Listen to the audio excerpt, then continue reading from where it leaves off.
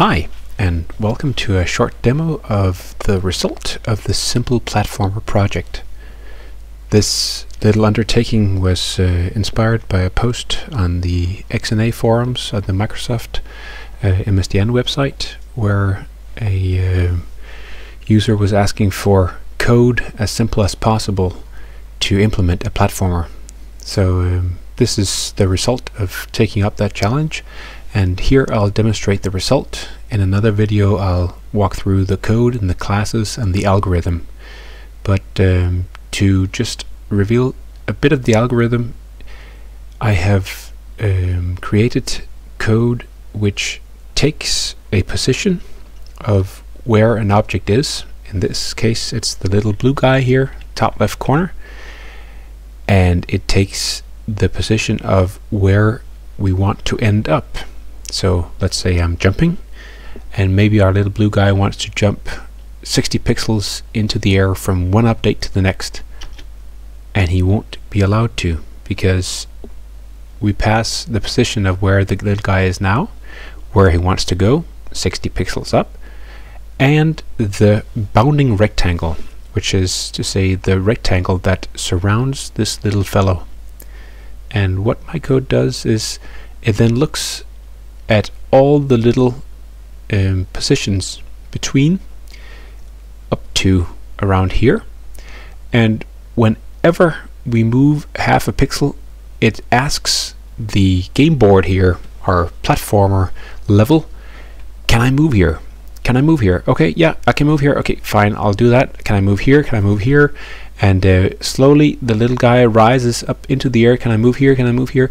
And at some point the movement controller finds out that the guy can't move anymore and movement is stopped and gravity takes over. Now gravity is implemented very simply by adding um, a downward speed all the time to the position of the little blue guy, my jumper as I call him.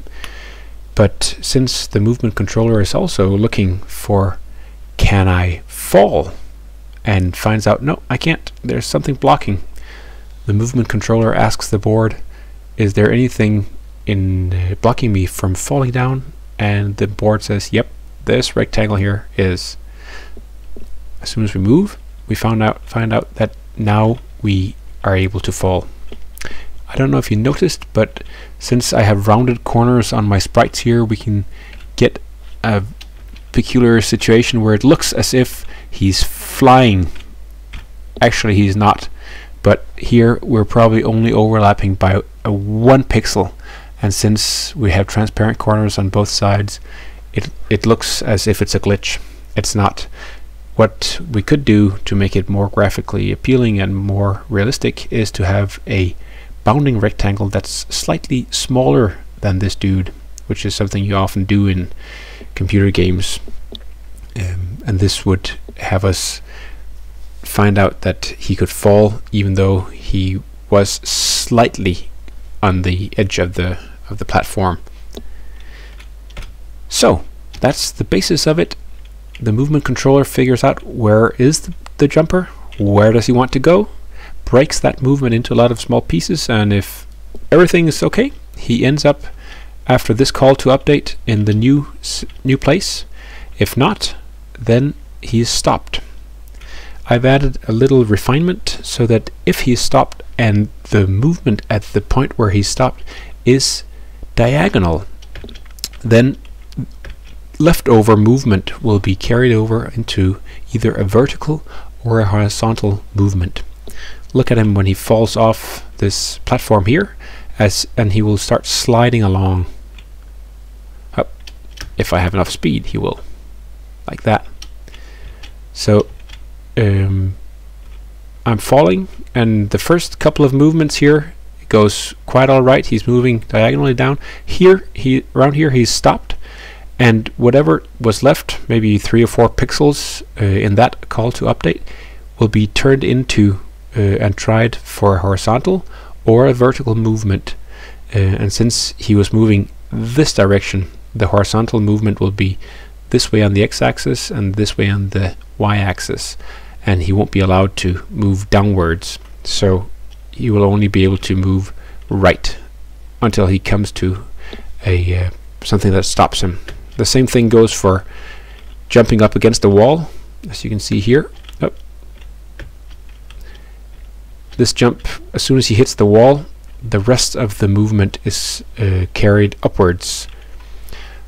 So basically, that's the algorithm. S where are you? Where do you want to go? Break it into small steps and try moving uh, half a pixel at a time whenever you hit something the bounding rectangle from the jumper and some other bounding rectangle overlaps we stop and we see if it's a diagonal movement try to carry it over into horizontal or vertical grab the code I've made sure that it uh, is according to the clean code principles as far as as I have understood them uh, Robert C. Martin who has tried to make a set of rules where you have variables and method names that are very self-explanatory. You have as few parameters to methods as possible uh, and you have no comments because you basically take your comments to everything and you concatenate it, remove the two slashes in front and then whatever comment you had on top of your method becomes the method name. In another movie I'll walk through the code the algorithm in more detail. I hope this has been illuminating. Have a look at the code and have fun.